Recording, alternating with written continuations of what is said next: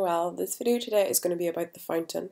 So if you don't know what the fountain is, if you're one of the people who are lucky enough to place in the top 100 of the Grand Prix, you get access to a fountain, which replaces the water trough that you have, and you get triple the amount of energy and morale from that fountain compared to the trough. So if we go into the Grand Prix, whenever I say you need to place in the top 100, this is what I'm talking about here. So weekly rankings. So in Western, I've got 15th, so within that top 100.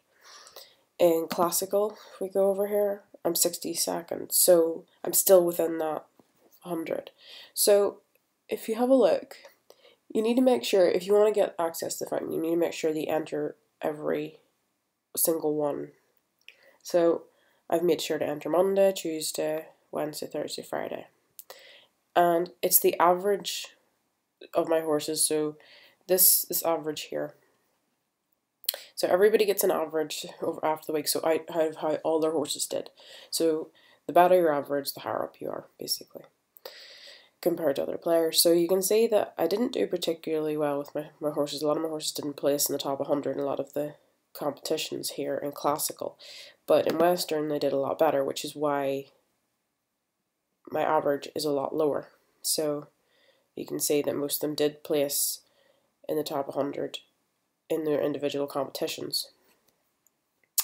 So once that happens, you're given access to the fountain. And the reason you can tell if you've been given access to the fountain is if you go to one of your horses. I'm just going to pick one. Um, go to this one. So it's up here. So you can see this little fountain icon has replaced the trough that would have been there before. So usually a trough will give you plus 2 energy and plus 1 morale. But whenever you click a fountain, it gives you plus 6 and it will also plus morale. The reason it didn't plus morale on my horse here is because my horse already had 100% morale, but if my horse didn't, it would give me plus 3 morale. So this is quite good if you're training or you're blockman horses or anything like that because you get a little bit more energy maybe if you want to enter more competitions things like that so it only lasts for a week and then it'll disappear again so to, in order to get it back you have to get into the top 100 of the Grand Prix again to get another one. So and it appears on all your horses when you get it. And the other thing is every time you earn the trophy or sorry the fountain you can earn trophies. So there's a trophy for getting fountains. Anyway, guys, hope that was helpful and hope you had a lovely day.